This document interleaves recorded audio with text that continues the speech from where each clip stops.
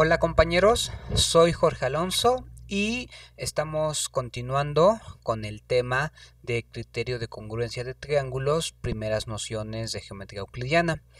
En el video anterior, en la sesión anterior, terminamos con este, con la demostración del criterio de congruencia lado lado ángulo en donde además estamos suponiendo que el ángulo en cuestión es mayor o igual a 90 grados y dijimos que este criterio en estas condiciones sí es de congruencia y e hicimos ver que depende del quinto postulado el que sea de congruencia.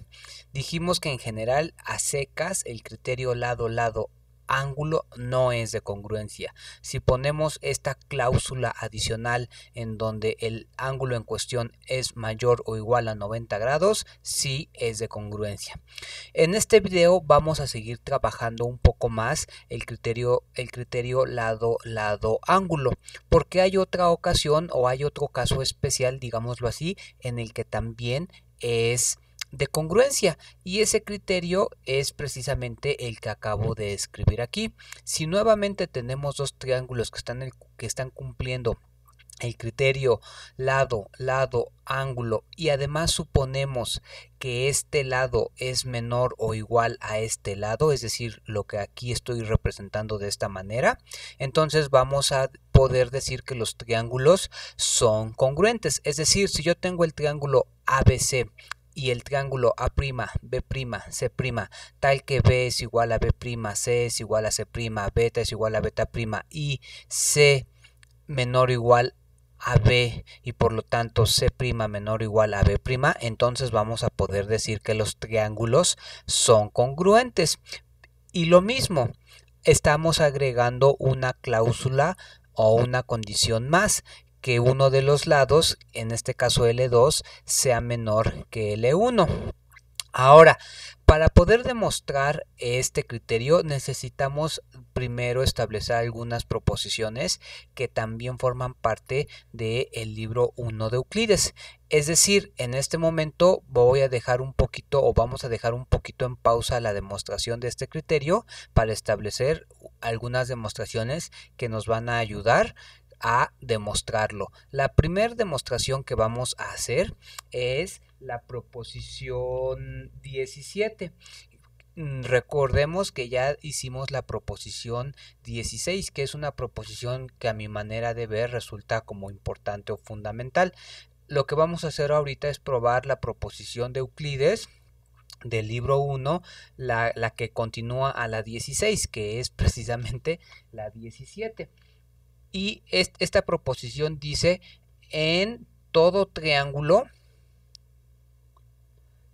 en todo triángulo, la suma de dos de sus ángulos, la suma de dos, la suma de dos de sus ángulos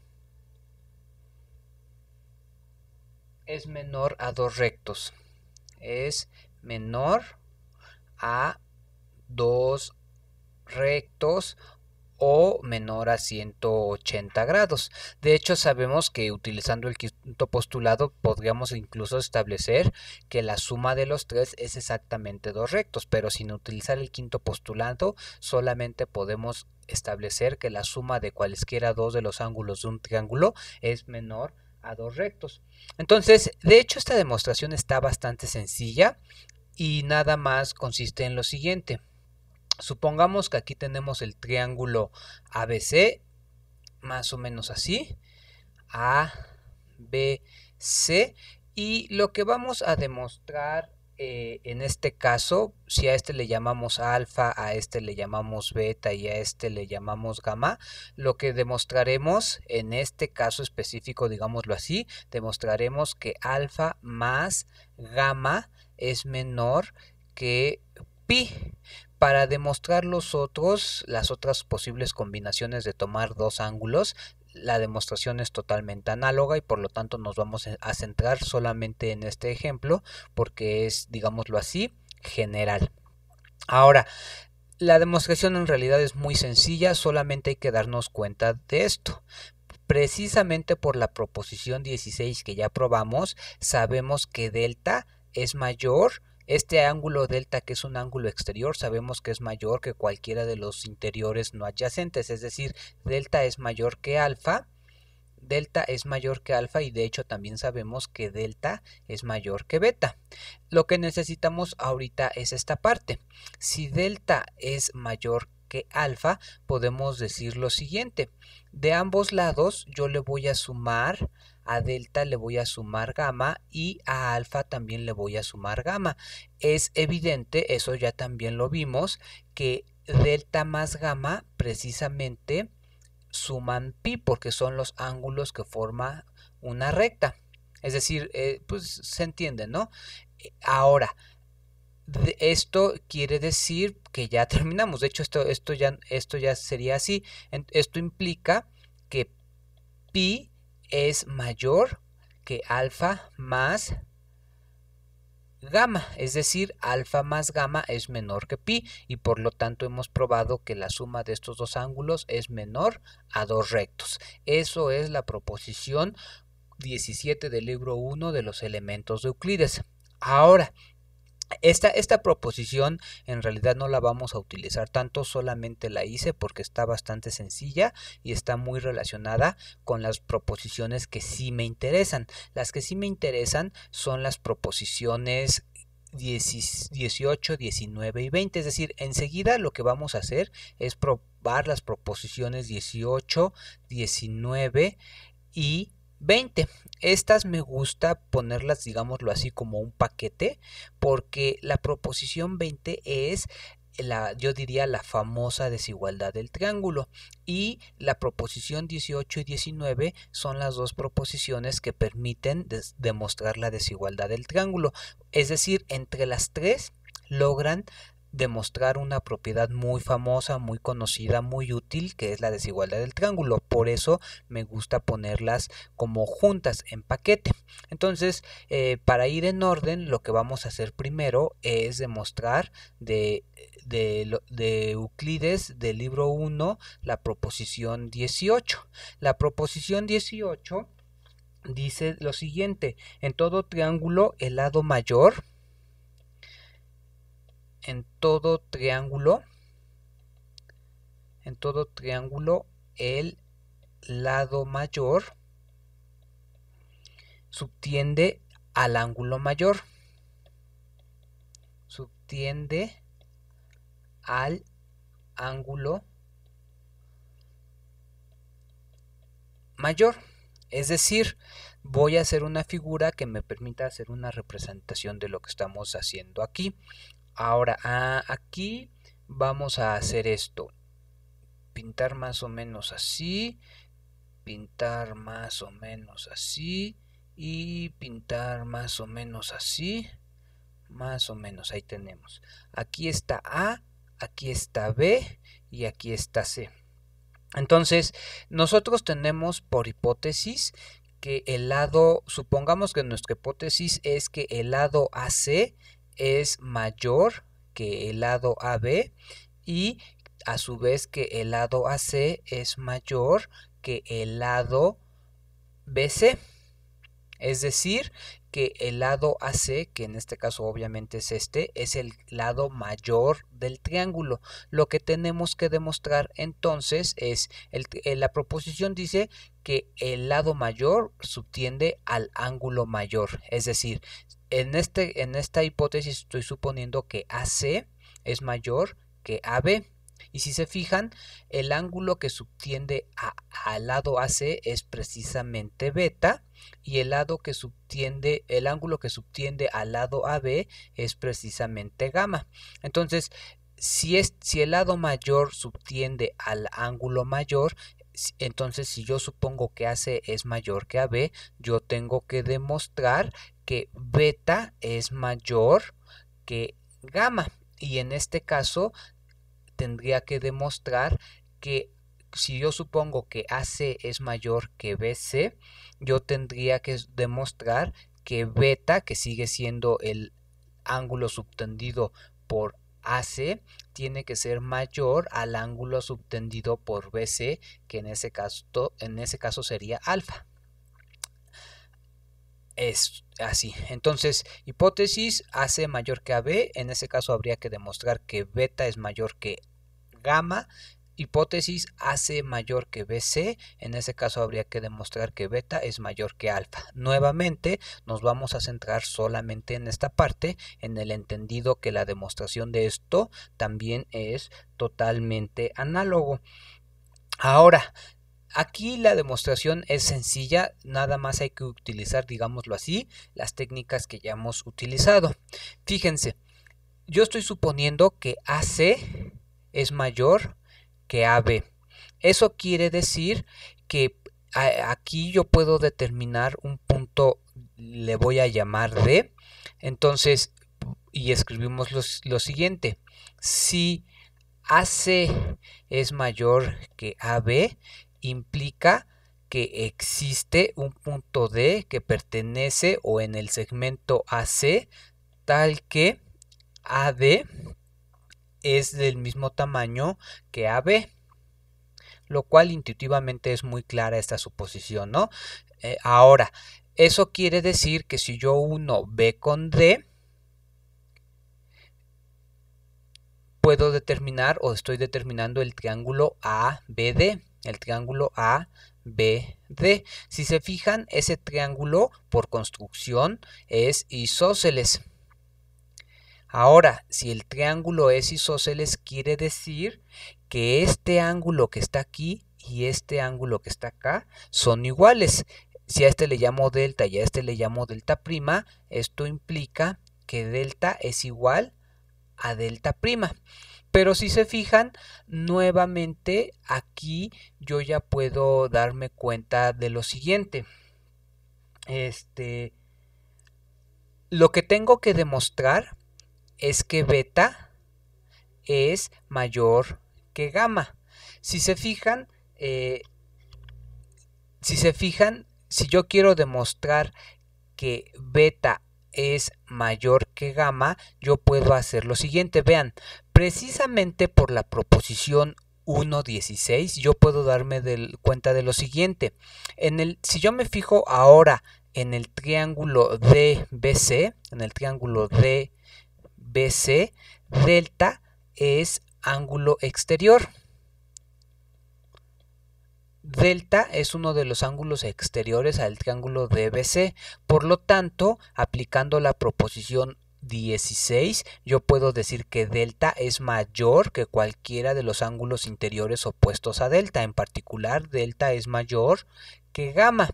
Pero si se fijan, también yo puedo darme cuenta de lo siguiente, regresando a, este triángulo que está aquí, al triángulo isósceles, si se fijan, el punto D, el punto D está dentro de la región angular del ángulo beta, por lo tanto, el ángulo que genera D es menor al ángulo beta, es decir, utilizando nuestro axioma del ángulo, es decir, por axioma del ángulo, digamos, digámoslo así, por axioma del ángulo, yo puedo darme cuenta que beta es mayor que delta prima. Pero a su vez delta prima es igual a delta porque este triángulo es isósceles y a su vez delta es mayor que gamma. Es lo que teníamos aquí aplicando eh, la proposición 1.16 del ángulo exterior. Por lo tanto, ya hemos terminado porque uniendo todo esto a lo que llegamos es que beta es mayor que gamma, que es precisamente lo que queríamos demostrar. Entonces, la conclusión de esta proposición es lo que me interesa. En todo triángulo si tú te fijas en el lado mayor de, ese triángulo, el ángulo opuesto a ese lado mayor es el ángulo mayor de ese triángulo. Y esa proposición es importante. Ahora, la proposición 19, digámoslo así, es el recíproco de la proposición 18. Es decir, en este momento voy a enunciar la proposición 19 que dice lo siguiente. Voy a del libro de Euclides, del libro 1, la proposición 19, dice lo siguiente. En todo triángulo, el ángulo mayor, en todo triángulo, el ángulo mayor es subtendido por el lado mayor. Es subtendido. Es subtendido por el lado mayor.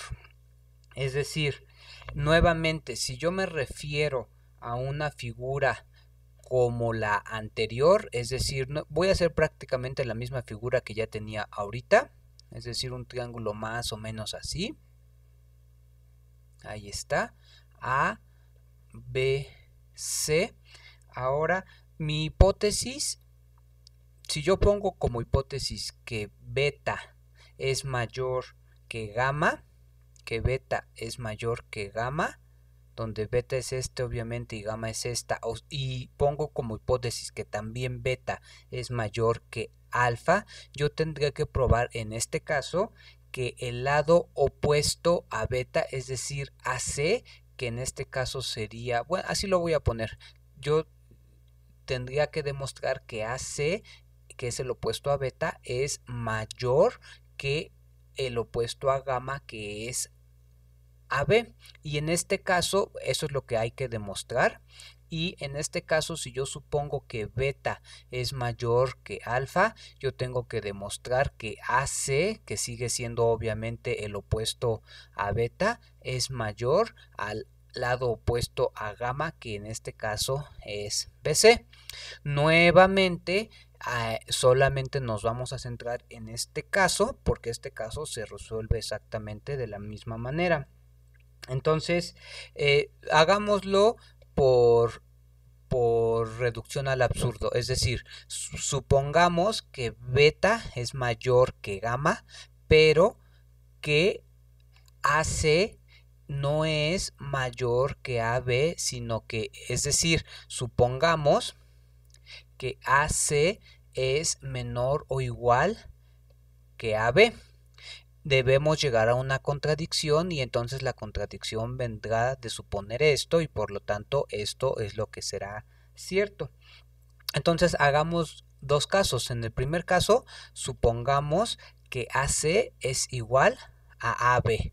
Entonces, si suponemos que AC es igual a AB, prácticamente lo que estamos suponiendo es, no prácticamente, si AC es igual a AB, entonces el triángulo ABC es triángulo isósceles y por lo tanto eh, esto implica que el triángulo ABC es un triángulo isósceles y a su vez eso implica que beta es igual a gamma que beta es igual a gamma, pero nuestra hipótesis es que beta es mayor que gamma, es decir, esto genera una contradicción, por lo tanto no puede suceder que AC sea, igual a AB y ya terminamos. Ahora, el caso 2, supongamos ahora que AC, que AC es menor que AB.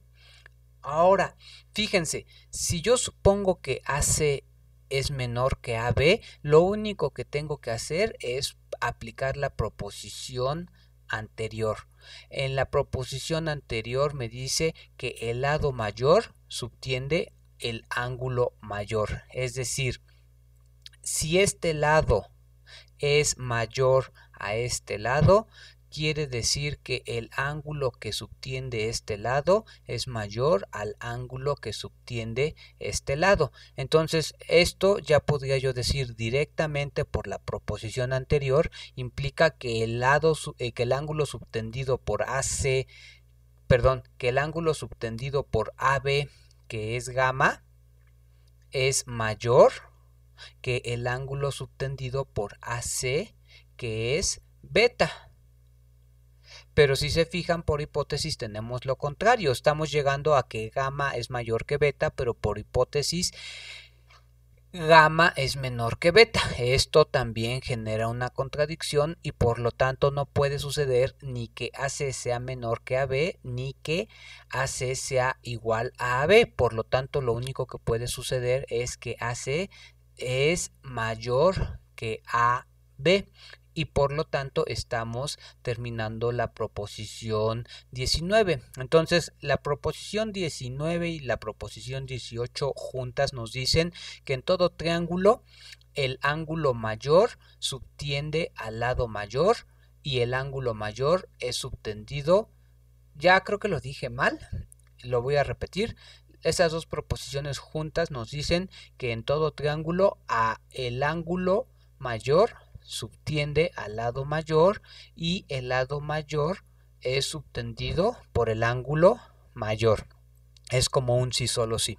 Ahora, a partir de estas dos proposiciones podemos probar precisamente eh, la proposición de Euclides del libro 1, la número 20. Esa proposición es la famosísima desigualdad del triángulo desigualdad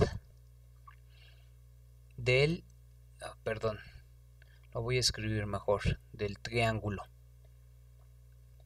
Y vamos a ver que ya con a partir de la proposición 18 y 19 es sencillo probar la desigualdad del triángulo. Y la vamos a escribir en todo triángulo, en cualquier triángulo, en cualquier triángulo ángulo, dos lados tomados a la vez,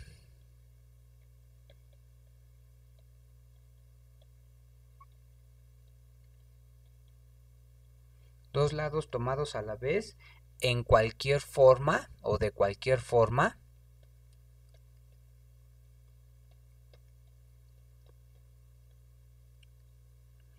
son mayores que el lado restante.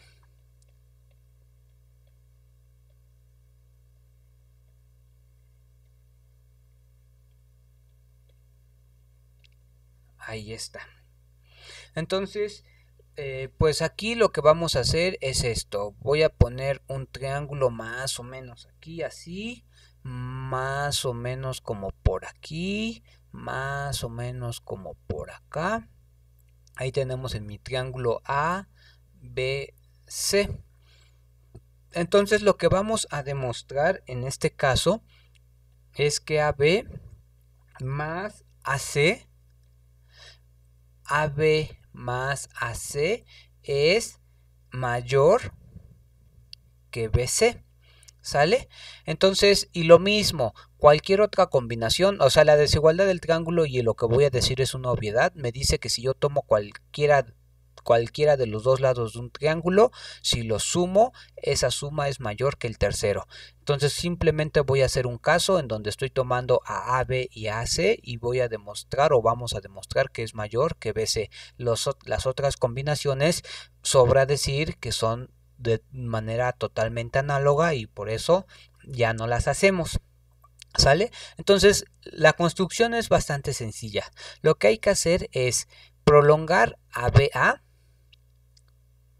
suponga, ay, aquí me voy, me estoy yendo chueco.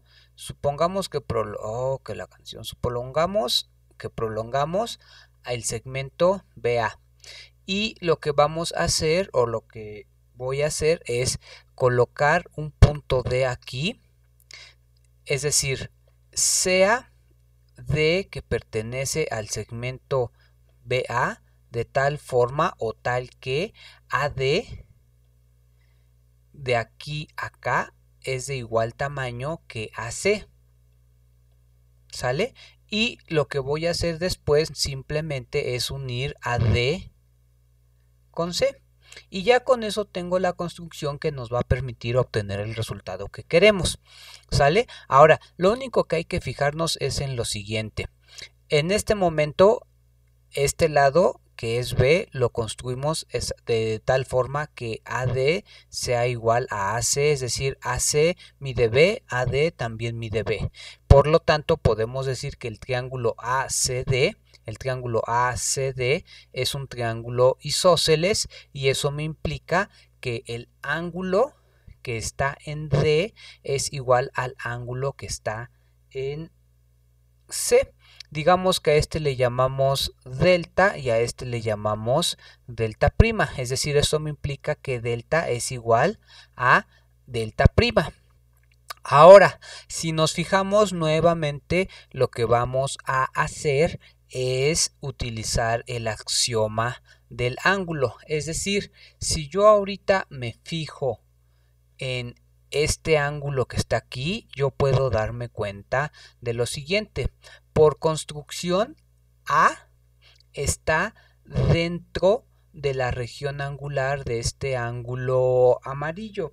A ese ángulo amarillo le podemos llamar de cualquier forma, le llamamos epsilon, ¿no? Entonces, A está dentro de la región angular del ángulo epsilon y por lo tanto los ángulos que forman A son menores que epsilon. Es decir, yo puedo decir que por axioma del ángulo me va a implicar que delta prima, que es igual a delta, recordemos, es menor que epsilon. ¿Sale? Eso quiere decir a su vez, obviamente, que delta también es menor que epsilon. Y, y, básicamente eso es lo que necesitamos. Porque ahora, si nos fijamos en el triángulo DBC, en el triángulo DBC, BC, si nos fijamos en el triángulo DBC, uno de sus ángulos es precisamente delta y otro de sus ángulos es precisamente epsilon y tenemos que delta es menor que epsilon.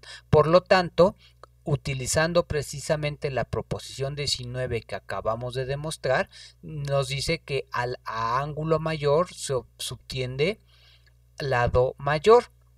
Eso quiere decir que si este ángulo es mayor que este ángulo, entonces el lado subtendido por este ángulo, es decir, BD, es mayor que el ángulo subtendido por este ángulo, es decir, BC. Esto implica en el, triángulo, en el e, eso que acabo de decir lo podemos decir de la siguiente manera. En el triángulo DBC, si nos fijamos, como delta es menor que epsilon, implica que el ángulo subtendido por delta, es decir, BC, es menor que el ángulo subtendido por epsilon, es decir, BD. BD. Pero si nos fijamos por construcción, aquí me faltó escribirlo bien, es BC aquí. Aquí hay que poner así. Es BC. Pero si nos fijamos, aquí nada más voy a repetir esto. Tenemos que BC es menor que BD, pero a su vez BD es igual a BA más AD, pero AD es lo mismo que AC más AC.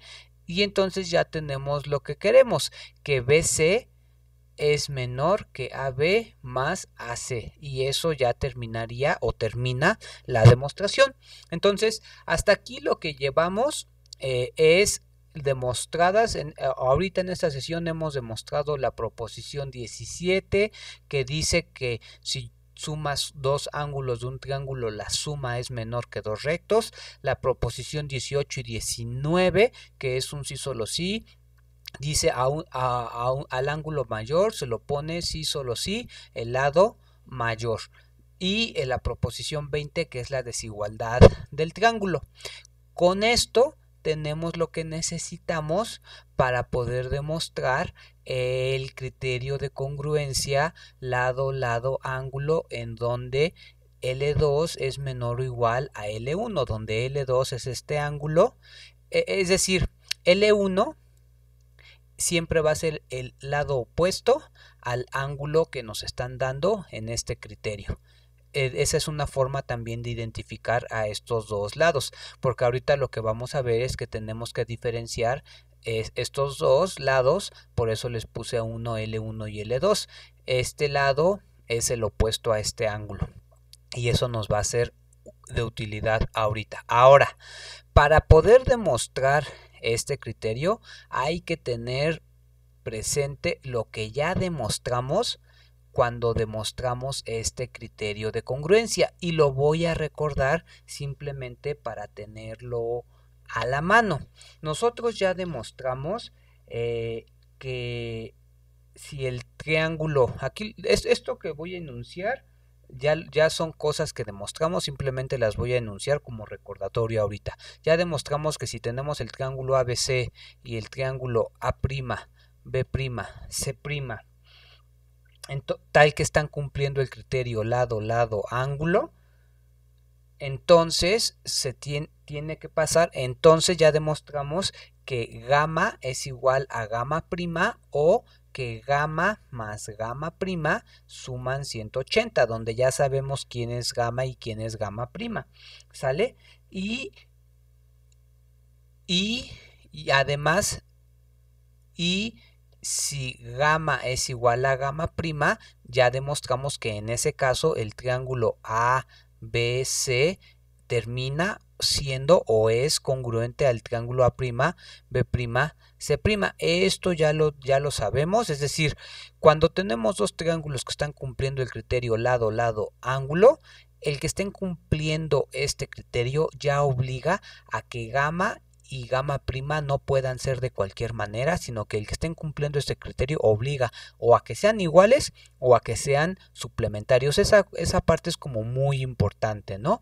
entenderlo, porque básicamente de ahí se desprende todo. Ahora, y después de demostrar esto, ya también demostramos un corolario, y ese corolario nos dice que lo mismo que si tenemos el triángulo ABC y el triángulo A', B', C', que nuevamente están cumpliendo el criterio lado, lado, ángulo. Y además nos dicen que y además sabemos que gamma es igual a gamma prima. Perdón. Y además sabemos aquí le voy a borrar y además le ponemos dos puntos. Gamma y gamma prima.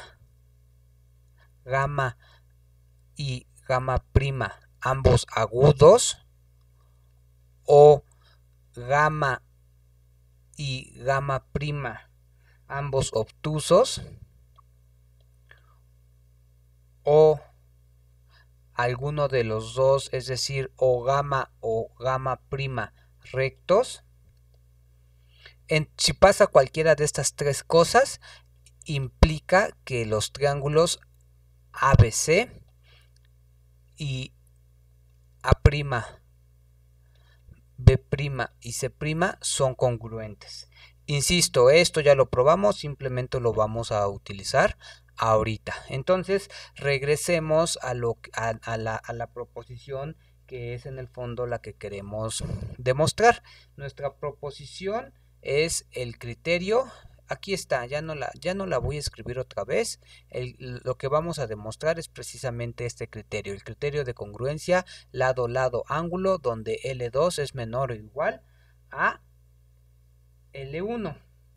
¿Sale? Entonces, lo que voy a hacer, yo creo, es borrar aquí para tener espacio.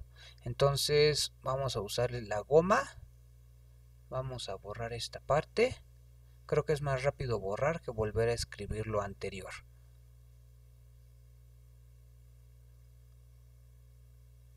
Ahí está. Supongo que con eso me va a alcanzar. Ahora, este... Y lo que hay que hacer simplemente es pintar los triángulos para tener una referencia. Aquí está A, aquí está B, aquí está C, aquí está A', B', C'. Y entonces lo que hay que hacer simplemente es pues aplicar nuestras hipótesis. Ahora veamos lo siguiente. Lo único que vamos a hacer es lo siguiente. A ver, lo primero, la, primera observación que voy a hacer es, es una observación muy sencilla. Solamente la hago para quitármela de encima de una vez. En, en el primer caso, supongamos que L2, donde, a ver, mi criterio de congruencia me está diciendo que B es igual a B', es decir, este es B, este es B', me está diciendo que C es igual a C' y me está diciendo que el ángulo beta es igual al ángulo beta'. Eso tengo por mi criterio. Y además estoy suponiendo que C es que este lado es menor o igual a este lado y por lo tanto como C es igual a C' y B es igual a B', es obvio que entonces también se está cumpliendo que C' es menor o igual a B'. Ahora, eh, eso, eso me permite hacer lo siguiente. En el primer caso, supongamos que se está cumpliendo la igualdad. Si C es igual a B, entonces en ese caso es obvio que también C' es igual a B' y ambos triángulos son isósceles. Es decir, eh, bueno, son isósceles, creo que ya se entiende lo que, lo, que va a pasar. Es decir, si son isósceles, entonces este ángulo que es gamma es igual a beta y por lo tanto a beta prima y por lo tanto a gamma prima. Es decir, estos dos triángulos ya no lo voy a escribir porque creo que sí se ve, creo que a simple vista se ve.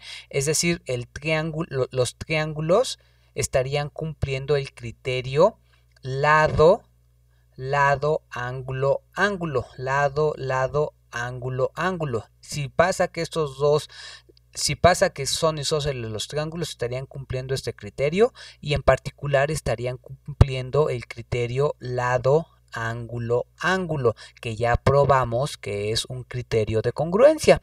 Por lo tanto, podemos, bueno, no, no podemos, acabamos de demostrar que si C es igual a B, entonces efectivamente los dos triángulos son congruentes. Ahora, el segundo caso es el que realmente está interesante. Supongamos que C es menor que B.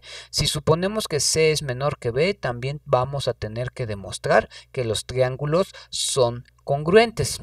A su vez, dentro de este caso, dentro del caso, digámoslo así, 2, que C es menor que B, vamos a hacer Es decir, ahora, el ángulo, el ángulo gamma y el ángulo gamma prima pueden, pueden pasar dos, o sea, pueden pasar tres cosas con respecto al ángulo gamma.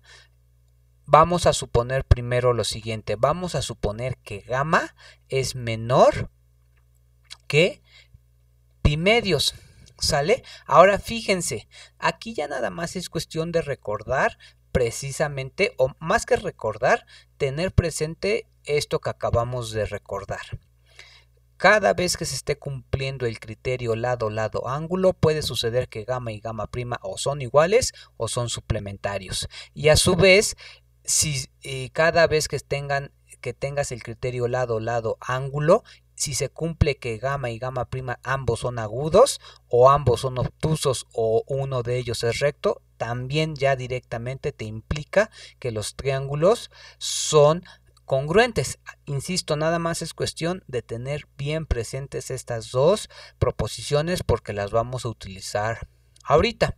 Entonces, en particular podemos decir, estamos suponiendo que C es menor que B y a su vez el ángulo gamma solamente tiene de tres sopas. El ángulo gamma puede ser menor que pi, es decir, puede ser agudo, puede, el ángulo gamma puede ser mayor que pi medios, perdón, aquí dije pi, pero es pi medios, es decir, puede ser obtuso, o el tercer caso es que gamma sea eh, exactamente pi medios. En el caso en que sea gamma pi medios o aplicando la proposición ya terminaremos. En bueno, me estoy adelantando.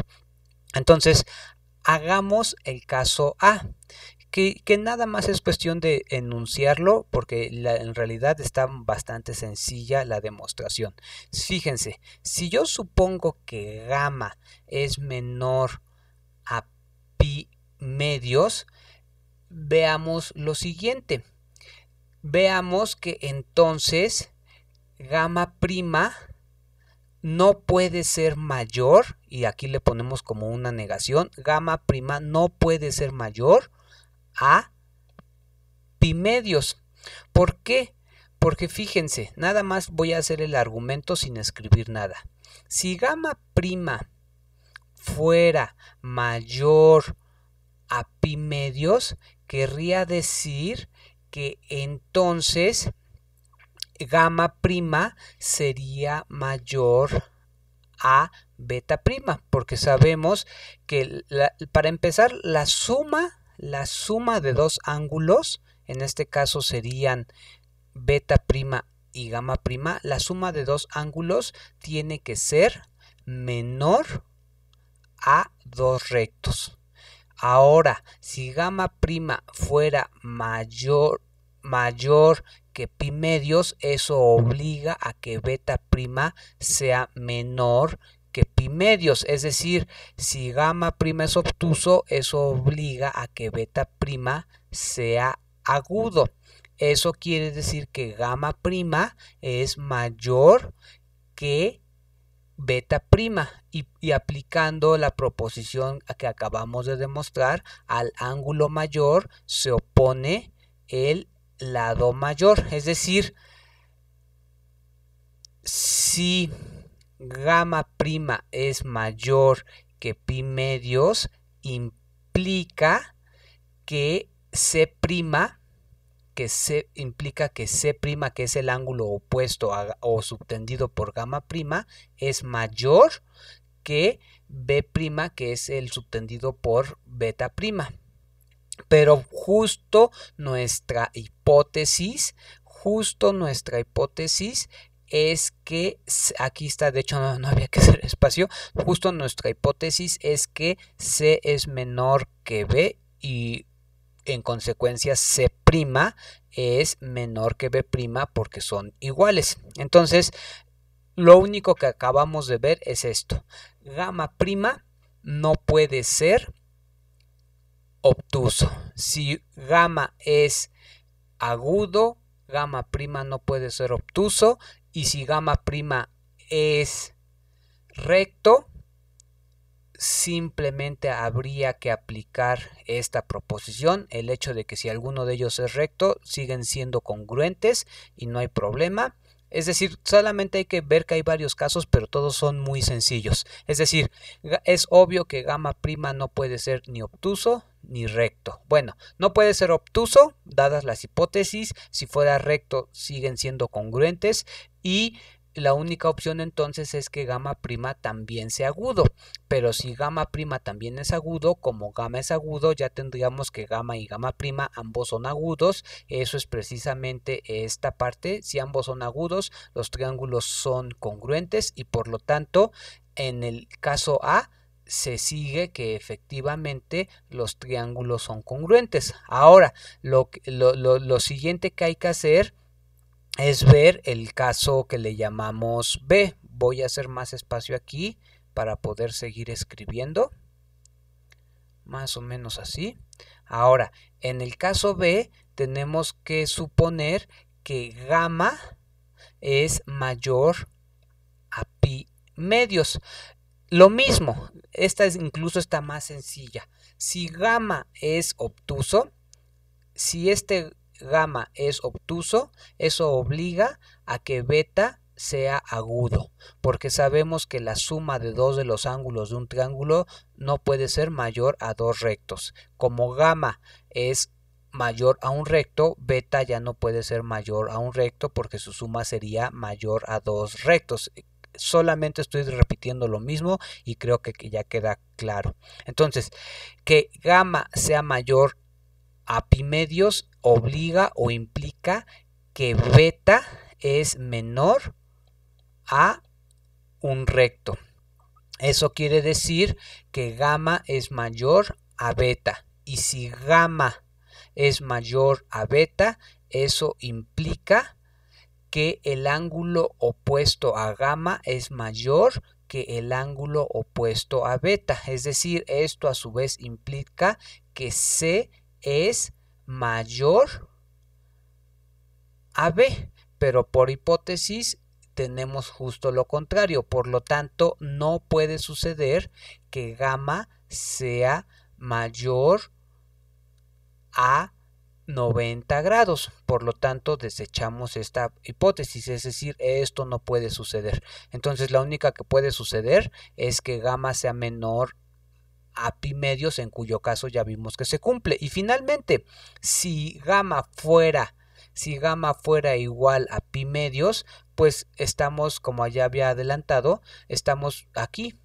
porque eh, la proposición que ya probamos nos dice que con que gamma o gamma prima sean un recto, ya con eso es suficiente. Y eso es justamente lo que sería el caso C, que gamma es pi medios. Si gamma es pi medios, aplicamos la proposición anterior directamente y también tendríamos que los triángulos son congruentes. Entonces, vean, si se fijan, son como muchos casos los que hay que estar considerando, pero en todos ellos las demostraciones en verdad son bastante sencillas, nada más es cuestión de poner un poco de atención. Y el resultado es lo que me interesa, el resultado es lo que me interesa, que si yo tengo el criterio de si yo si dos triángulos están cumpliendo el criterio lado, perdón, si dos triángulos están cumpliendo el criterio lado, lado, ángulo, en donde el el lado que está solito, por decirlo de alguna manera, es menor al lado que está acompañado por su ángulo opuesto, es decir, si L2 es menor o igual a L1, se va a cumplir que entonces los dos triángulos son congruentes. Y entonces lo que estamos viendo es que el criterio LLA como ya habíamos dicho desde la sesión anterior, en general el criterio LLA en general no es de congruencia. Es decir, hay ocasiones en que puede haber dos triángulos que están cumpliendo el criterio LLA y esos triángulos ser, digámoslo así, distintos. Pero lo que estamos probando tanto en la sesión anterior que fue este criterio como en esta sesión que es el criterio que acabamos de demostrar, lo que estamos probando es que el criterio LLA es de congruencia si el ángulo en cuestión es mayor o igual a 90 grados y que el criterio de congruencia LLA es de congruencia si se cumple esta desigualdad entre los lados en cuestión, si se cumple que este lado es menor o igual al lado que está opuesto al ángulo que me están dando en el criterio. Entonces, esto que estamos haciendo, eh, lo que voy a decir quizá desmotive mucho porque eh, este criterio yo creo que jamás lo vamos a utilizar. Este criterio sí se utiliza y de hecho en mi forma de trabajar o no sé cómo decirlo yo lo utilizo varias lo, lo, lo utilizaremos en varias ocasiones. Este jamás lo he utilizado pero no quiere decir que no se pueda utilizar no entonces la finalidad de mostrar que este criterio bajo estas condiciones sí es de congruencia más que demostrarlo porque sea algo útil lo demostramos como para ser un tanto detallados en cuanto a explorar todos los criterios de congruencia.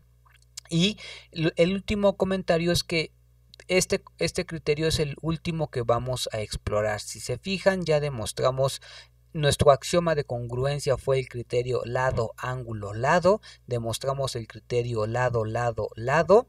Demostramos lo voy a escribir de manera muy, muy esquemática. Nuestro axioma de congruencia es lado, lado, lado, lado, ángulo, lado. Ya demostramos en sesiones pasadas el criterio LLL, ya demostramos el criterio ángulo, lado, ángulo, ya también demostramos el criterio lado, ángulo, ángulo y acabamos de demostrar el criterio lado, lado, ángulo con ángulo mayor o igual a 90 grados y en esta sesión demostramos el criterio lado lado ángulo y aquí hay que ponerle nombres para poder decir esto, donde L2 es menor o igual a L1. Es decir, tenemos 1, 2, 3, 4 y estos podríamos verlo como un solo criterio.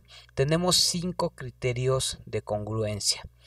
Todos ellos son útiles. En nuestro curso lo más probable es que utilicemos estos cuatro. No sé si este lo, llegaremos a utilizar, pero lo importante es esto, que ya desmenuzamos los criterios de congruencia. Le voy a dejar hasta aquí. Seguramente en el siguiente video haré un resumen o una recapitulación de todos los criterios y además empezaremos a ver brevemente lo siguiente y lo dejo simplemente como para que lo vayamos pensando. Cada vez que yo tenga tres lados, yo puedo construir un triángulo. ¿O será que esos tres lados tienen que cumplir alguna condición especial? Es decir, todos los criterios de congruencia son construibles a priori, es decir, todos los criterios de, congruencia son construibles independientemente de qué valor, digámoslo así, tengan los lados y tengan los ángulos. Vamos a ver que no, pero eso lo vamos a ver en la siguiente sesión.